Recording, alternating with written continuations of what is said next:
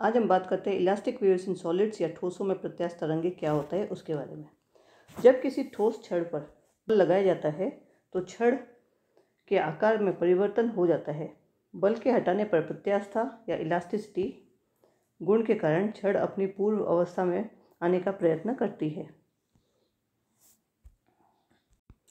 ठोसों के यही गुण यांत्रिक क्रिया या मैकेनिकल एक्शन के द्वारा ठोसों में तरंग संचरण के लिए उत्तरदायी होते हैं। यदि छड़ के एक सिरे हथौड़े से अक्षीय आवेग या एक्सियल इम्पल्स लगाया जाए तो विशेष प्रकार के रीजन से लंबाई के अनुदिश रगड़े तो इस प्रभाव निश्चित वेग से छड़ में गति करता है। यह प्रभाव छड़ में अनुदैर्घ्य तरंगों के रूप में संचरण करता है और इसका वेग छड़ में प्रत्यास्था गुणांक या यंग्स मॉड्यूलस ऑफ़ इलास्टिसिटी एवं घनत्व पर निर्भर करता है। तो आ, मान लीजिए कि एक अनुप्रस्थ काट क्षेत्र में या क्रॉस सेक्शन में एक बेलनाकार छड़ में लंबाई के अनुदिश एक्स अक्ष में अनुदैर्घ्य तरंग संचरित हो रहा है, जैसे कि हमने इस चित्र में दर्शाया है। तरंग संचरण के कारण छड़ में प्रत्येक परिच्छेद तल या क्रॉस सेक्शनल प्लेन छड़ के अनुदिश अपनी मध्यमान स्थित के आगे पीछे कंपन करता है। इन्हीं कंपनों के उत्पन्न प्रभाव में संचरण प्रत्यास्था तरंग कहते हैं। माना छड़ के एक सिरे x is equal to zero से एक्स तथा एक्स प्लस डेल्टा एक्स दूरियों पर दो परिच्छेद तल क्रमशः ए तथा बी लेते हैं। प्लस एक्स दिशा में तरंग संचरण के कारण किसी क्षण ए तथा बी तलों की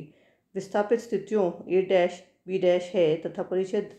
ए के विस्थापन A A dash equal to psi और बी का विस्थापन B B dash equal to psi plus del psi है। तो ए व बी तलों के बीच जो छड़ की प्रारंभिक लंबाई होगी, वो A B is equal to delta x होगी। तथा इस लंबाई का जो परिवर्तन है A dash B dash minus A B is equal to A dash B plus B B dash minus A A dash plus A dash B ये हो जाएगा B B dash minus A A dash is equal to psi plus del psi minus psi is equal to delta psi अनुदैर्य विकृति S इसको हम इस प्रकार से लिख सकते हैं ए व बी तलों के बीच लंबाई में परिवर्तन ए व बी तलों के मध्य प्रारंभिक लंबाई का जो अगर हम भाग लेते हैं तो इसको हम अनुदैर्य विकृति कहते हैं, यानी कि del psi by del x S is equal to del psi by del x is equal to del psi by del x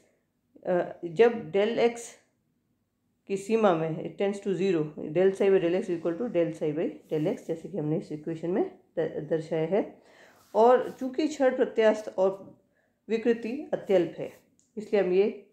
जो अप्रॉक्सीमेशन है, वो ले सकते हैं। अब हम बात करते हैं क्षण का जो यंग प्रत्यास्था गुणांक है, यानी कि प्रतिबल व अनुदैर्य विकृति वाई इज़ इक्वल टू प्रतिबल बाई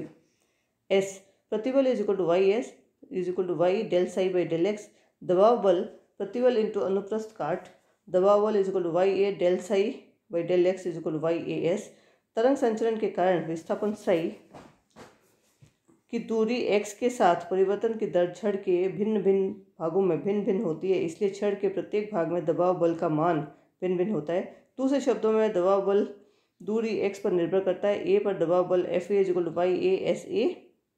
B पर दबाव बल F B equal Y A S B अतः एक्स दिशा में कार्यरत परिणामी बल F is equal to F B minus F A Y A S B minus S A यदि छड़ की लंबाई के अनुदिश अनुदैर्य विकृति एस के परिवर्तन की दर डेल साई व डेल एक्स हो तो ए तथा बी अनुप्रस्थ तलों के मध्य अनुदैर्य विकृति में परिवर्तन S B minus S A is equal to del S by del x into del x plus x दिशा में कार्यरत परिणामी बल वाई जो बल होगा F is equal to Y A del S by del x into delta x समीकरण से S का मान रखने पर हमें मिलता है Y A del S by del x del x is equal to F यानी कि F is equal to Y A del square psi by del x square del x यदि छड़ के पदार्थ का घनत्व साई रो है तो ए तथा बी परिच्छेद तलों में बीच छड़ के अल्पांश का द्रव्यमान ए रो डेल एक्स होगा। अब यदि ए बी तलों के मध्य अल्पांश का त्वरण del square psi by del t square हो तो न्यूटन का द्वितीय नियम से प्लस एक्स दिशा में कार्यरत परिणामी बल द्रव्यमान इंटू त्वरण F is equal to A rho del x del square psi by del t square के बराबर होता है। समीकरण से A rho del x equal to uh, into del square psi by del t square is equal to y a del square psi by del x square del x यानी कि del square psi by del t square is equal to Y by rho del square psi by del x square यह समीकरण छड़ के संचरित अनुदैर्ध्य तरंग में अवकल समीकरण है। इस इसकी तुलना तरंग के व्यापक अवकल समीकरण del square psi by del t square equal to V square del square psi by del x square के